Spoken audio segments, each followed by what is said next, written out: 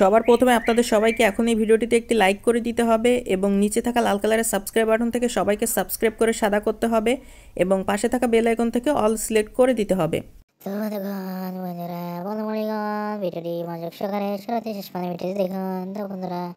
আমার প্রাথমিক পর্যায়ে প্লাস এখানে ক্লিক করে নিই এবং আমরা ক্লিক করে গ্যালারির মধ্যে হতে অসংখ্য ছবিগুলো হতে আমরা মনে বসে থাকি সুন্দর ছবি সেট করে সেটিকে ব্যাকগ্রাউন্ডে বসাই।